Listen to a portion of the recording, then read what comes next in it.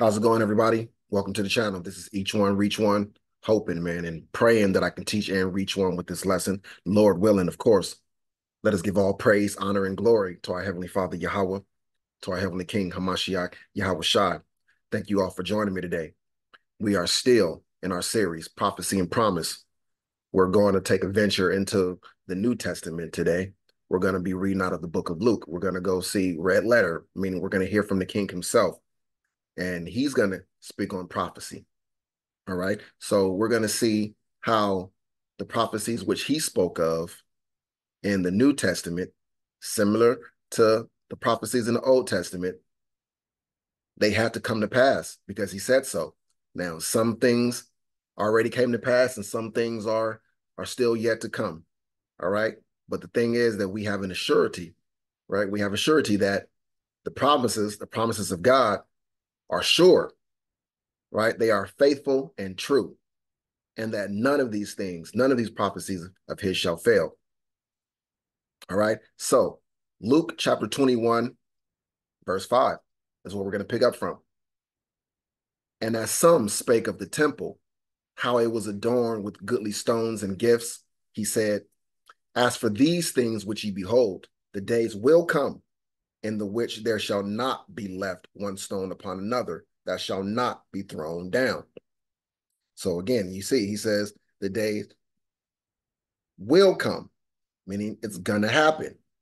There's no there's no room for for guessing and trying to you know figure out whether it's gonna happen or not because he says will come, not might, not maybe, not possibly, none of that kind of language, right?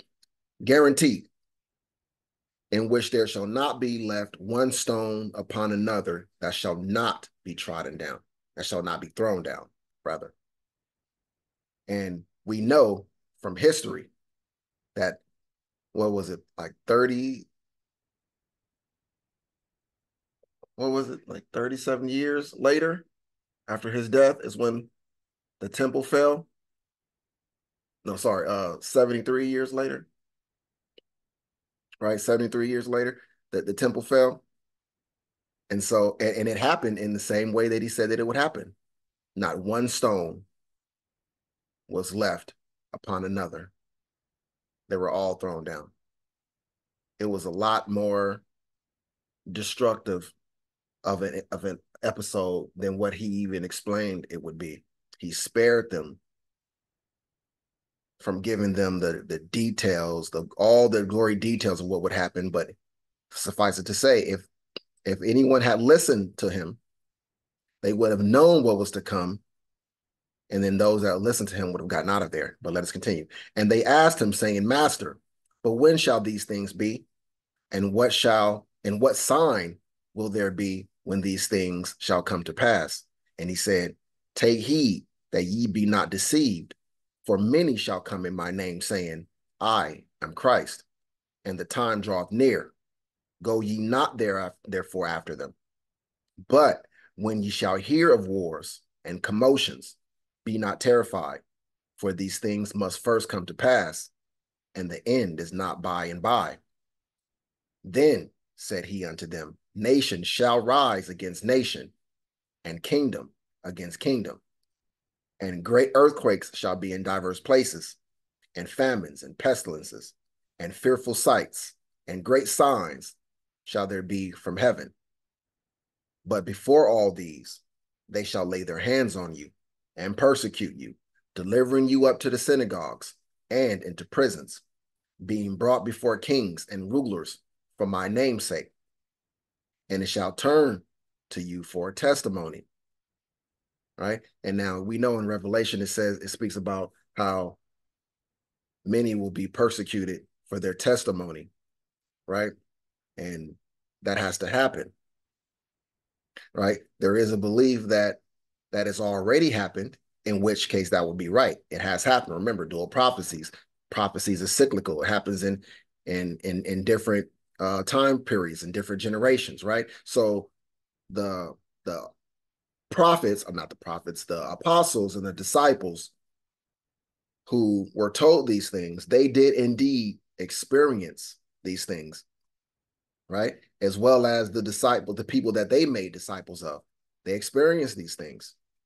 And so they, being the apostles and the disciples of Christ, were unable to escape the, the judgments. They were unable to escape prophecy. It had to be true.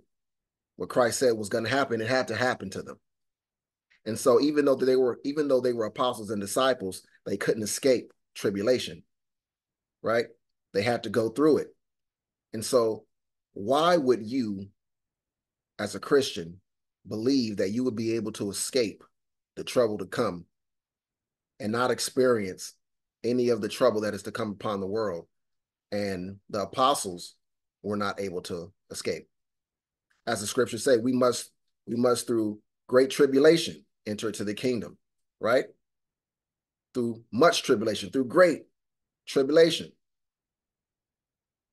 So if we're told that we must come through great tribulation in order to get to the kingdom, where does the doctrine that says that you can get into the kingdom by being raptured, you're never going to get to experience any trouble? Where does that come from? That sounds like some feel good doctrine. It sounds more like that prosperity gospel, more like the charismatic church teachings, right? Not something that has come out of the book. It is definitely not supported by the Bible. Here on this channel, we deal with the Bible. We deal with the word of God. All right, not the word of men. All right, and it shall turn to you for testimony. It has ha it happened back then. Many of them died gruesome deaths.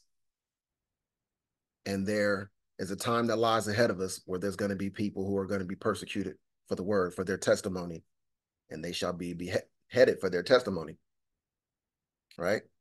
Now, think about it. He says that that they're going to be beheaded. Which people do we know of in the earth today live by the sword and they have a habit of beheading their enemies? That's probably a good a good um marker, a good identifier of who are going to be those people that are going to be persecuting those who believe in Christ for their testimony. All right. He says, Settle it therefore in your hearts, not to meditate before what ye shall answer. For I will give you a mouth and wisdom, which all your adversaries should not be able to gainsay nor resist. And ye shall be betrayed, both by parents and brethren, and kinfolks and friends. And some of you shall they cause to be put to death. And ye shall be hated of all men for my name's sake. But there shall not an hair of your head perish. In your patience possess ye your souls. And when ye shall see Jerusalem compassed with armies, then know that the desolation thereof is nigh. So here, this prophecy is being given by Christ. And what happened, what wound up happening is what is going to happen in the end of times is that there's always people who hear the prophecies, and because of their unbelief, they find out the hard way. They're going to be the victims of their own unbelief. It happened during his time, and it and it happened in the subsequent time to follow, and it's going to happen in ours. All right. So they were given a warning. They were told that Jerusalem Jerusalem was going to fall. The the temple, the sanctuary was going to be destroyed. Not one stone shall be left upon another. They were given a heads up. That's what he does. He always gives us his prophecy. He gives us promises. He gives us a warning, a heads up before things happen, so that when they happen, we know that he told us that they would happen and that we would believe in him. The prophecies are a way for us to get to know God, that he exists and that he is true, that his word is good, that he is God and nothing else. Because who else would be able to call the end from the beginning, right? Okay, so Christ has to told the people, when ye shall see Jerusalem compassed with armies, then know that the desolation thereof is nigh. Then let them which are in Judea flee to the mountains, and let them which are in the midst of it depart out. And let not them that are in the countries enter thereinto. For these be the days of vengeance, that all things which are written may be fulfilled. Listen, these are the day of vengeance. So in these days, this day of vengeance, he's telling you that he's he's gonna get vengeance on somebody. And who are these somebodies? These are Israelites, right? These are Israelites who he's gonna wreak vengeance on. in 70 AD. They're being warned. And so what happened was those who believed in Christ, those who trusted in him and his word, they adhered, you know what I'm saying, to the to his warnings. So when 63 AD came around, because that's when it started, the completion of it was in 70 AD. But in 63 AD is when it began. And then that they had a time, they had seven years, seven years to follow his instructions. That's the number seven. We know how critical the number seven is. It took seven years to complete the work of destroying Jerusalem. There were seven years in which the people had to be obedient, call, recall the words that he spoke, he had spoken to them. They had it in writing. It was being passed on word of mouth. The believers in him who were being persecuted by the quote unquote law keepers of their day, they listened and they got out of there. But who stayed? Who was there? Which people were there that got trodden upon? Which people got slaughtered? The unbelievers, the law keepers, right? Those who loved the law of Moses so much and hated Christ, didn't believe in him, didn't trust him, didn't listen to his word the law of Moses was their God. It was their idol. They, they didn't believe that there was any way God would allow the sanctuary to fall. Even though Christ said it, they didn't believe him. They were trusting in what they believed. See, they thought they knew God better than the Son did. They thought they knew better than the King who came from the Most High God. They thought they knew God better than him.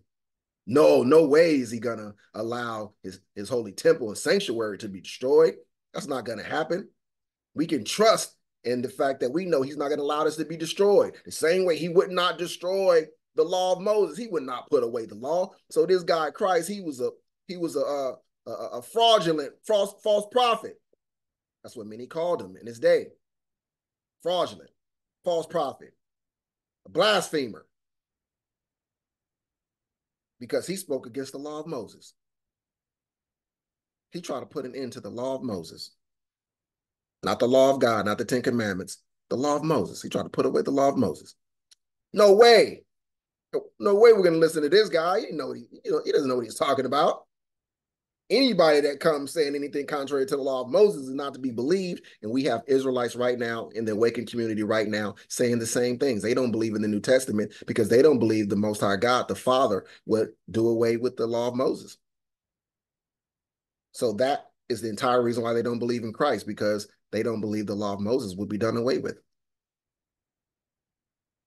Christ, Christ didn't try to uphold the law of Moses and try to push to the people that they need to, to um, live by the law of Moses. He pushed the, the Ten Commandments.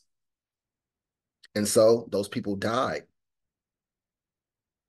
Those were days of vengeance that came upon the Israelites. Now, there is a day of vengeance promised in the last days as well. Remember, cyclical goes around, comes around in the in the last days, in the day of the Lord, is also called the days of vengeance. And all his prophecies that are promised to come about, all of the things that are going to come upon the Gentiles, upon the heathen, upon the enemies of Israel, are going to happen. You can't get away from them. Not believing won't stop them from happening. You're not going to be saved by unbelief.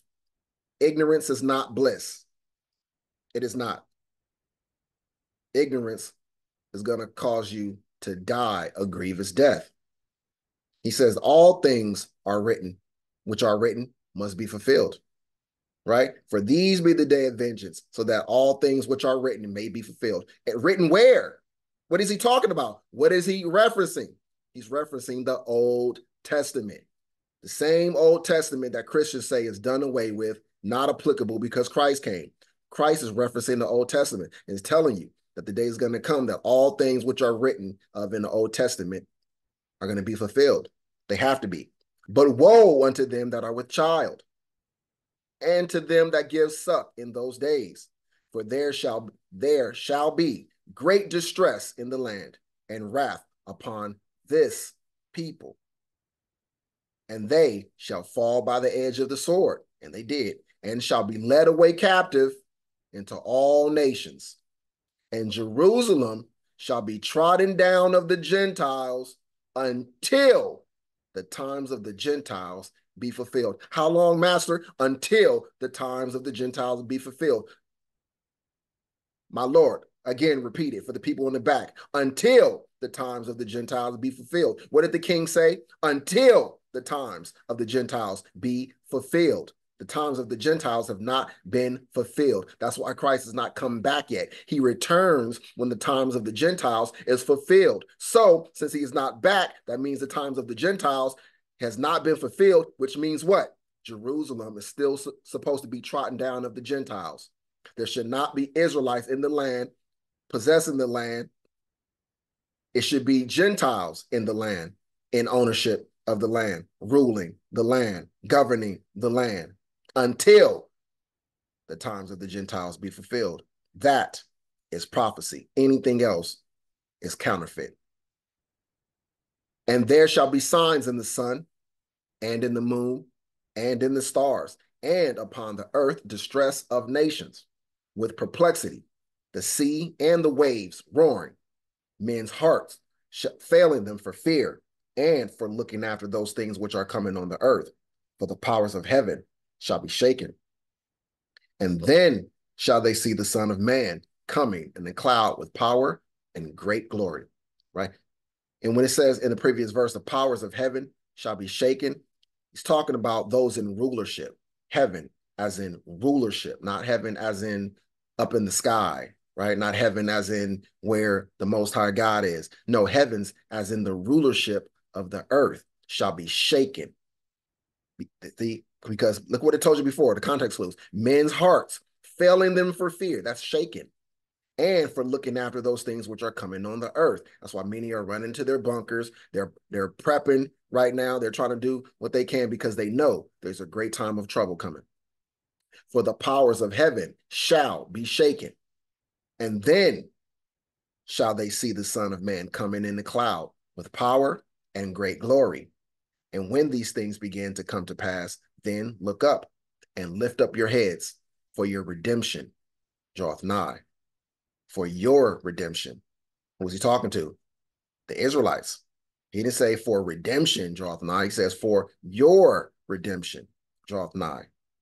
Not, re- not the redemption of the whole entire earth.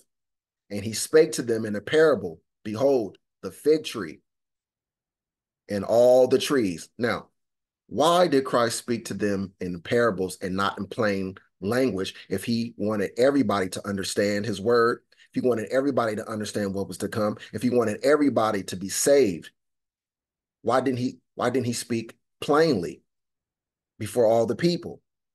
Because it wasn't for everybody. As he says, it is given unto you to know the secrets uh, of God, to know to have the keys to the kingdom. Is a, for you to know the mysteries of God. It's for you to be able to break down his word, to understand his word and be enriched by it. It's for you to enter into the kingdom. It's for them to go through that broad way, right? That wide gate that leads them to destruction. Right? That's why he spoke in parables because it's not for everybody. He didn't come to save the whole entire earth. Behold, the fig tree and all the trees when they now shoot forth, ye see and know of your own selves that summer is now nigh at hand. So likewise, ye, listen to this, when ye see these things come to pass, know ye that the kingdom of God is nigh at hand. Verily I say unto you, this generation shall not pass away till all be fulfilled. Right? And when he says this generation, he's talking about the generation of the people who are living when this happens. Behold the fig tree, because Israelites are the fig tree, right? Israel is the fig tree. And so Israel is, is God's time clock. You're supposed to know where we are in prophecy by watching his people. Right? He says, when when they begin to shoot forth, you will know that summer is nigh at hand. And we are beginning to shoot forth now. Us wakening awakening right now, reclaiming our heritage, our ethnicity, our nationality, our customs and traditions, our, our God. You are witnessing, you are beholding the fig tree. We are now shooting forth. Summer is nigh at hand. You're seeing the signs that is alerting you to the fact that the end is near. Heaven and earth shall pass away, but my words shall not pass away. And take heed to yourselves, lest at any time your hearts be overcharged with surfeiting and drunkenness and cares of this life, and so that day come upon you unawares. For as a snare shall it come on all them that dwell on the face of the whole earth. But I thought he came to save the whole earth. No, he says, it shall come as a snare on them that dwell on the face of the whole earth, meaning a trap. A trap. Because it's not meant for everybody on the whole earth. It's meant for those who are on, are on the inside. Right? Those who are privy to the secret conversations. And the secret conversations in our day and time come via the Holy Spirit, who puts the word within us, who gives us ability to know, to understand things that we wouldn't otherwise be able to know or understand by any other means. Watch ye therefore and pray always that ye may be accounted worthy to escape all these things that shall come to pass and to stand before the Son of Man. See that? He's telling his people who he's talking to, pray always that they might be accounted worthy to escape all these things that shall come to pass. Why? Because not everybody will escape. Not everybody will be able to stand before Christ because it's not meant for everybody to stand. It's not meant for everybody to escape. That's why he spoke in parables. He didn't come for everybody. I am not sent but unto the lost sheep of the house of Israel, the house of Israel, meaning the offspring of the man Israel, the bloodline, not converts, not whosoever believes. All right. And in the daytime, he was teaching in the temple. And that night he went out and abode in the mount that is called the Mount of Olives. And all the people came early in the morning to him in the temple for to hear him. All right. He, he abode in the mount that is called the Mount of Olives. All right. And so we all know about the olive trees and, and so forth and how those are representative of, of the nations of Israel, right? The, the kingdoms, the southern kingdom and northern kingdom. So you got to always keep the symbology in mind of what everything means, what it stands for. Right? That that's the that's the key. That's the key. You know, like in order to understand a map or something, you need the key. Well, you got to have the keys in order to understand the book.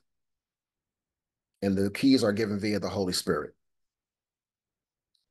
All right. So without it, you can't know anything.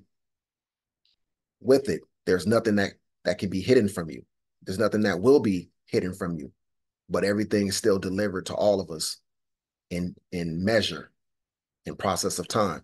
We are breadcrumbed in our journey. Most High God does not drop the whole loaf of bread off in our laps. He doesn't even drop a, a whole slice of bread in our laps. He breaks it off and feeds it to us piece by piece. He sets each piece before us. We go, we pick up a piece, we eat. And every time we eat a piece, we hunger for more. So we we travel further. And he rewards us with another piece. Mm, that's good. Thank you, Lord.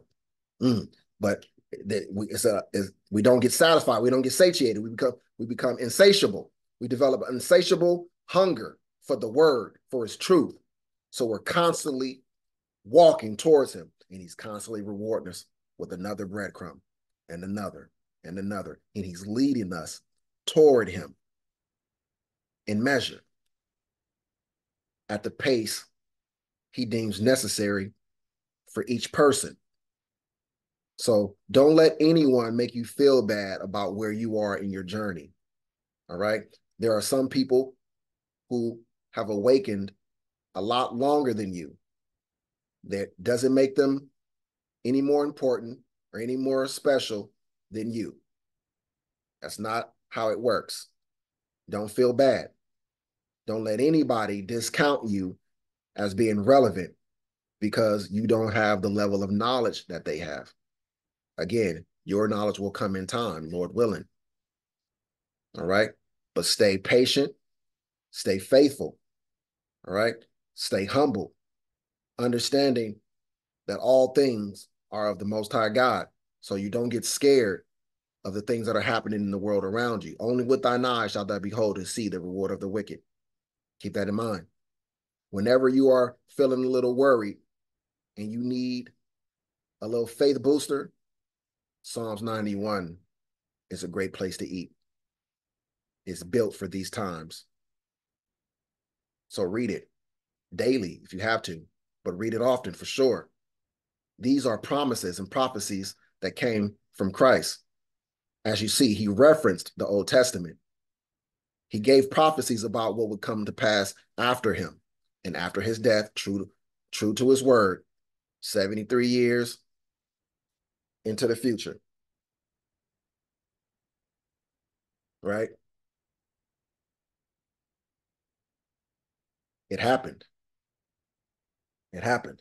Right? So we know that promises made are promises kept by the Most High God. Right? Promises made are promises kept by the Most High God right? And my bad, you guys. I, I said 73 years, 37 years. I don't know why I keep saying 73 because those numbers are very key. When you understand numbers and you know how to watch for them, the number three, the number seven, the number 33, the number 37, the number 73, right? But yes, so Christ died, and then 37 years later would be 70 AD, right? And that's when the destruction of Jerusalem took place, right? He said it would happen and it happened. The way he said it would happen is the way that it happened. Prophecy made, prophecy fulfilled. Promises made are promises kept.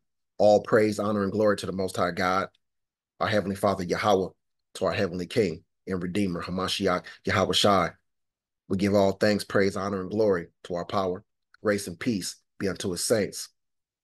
If you have been reached, if I was able to teach you anything today, or put something in your mind that you might have forgotten, brought it to memory.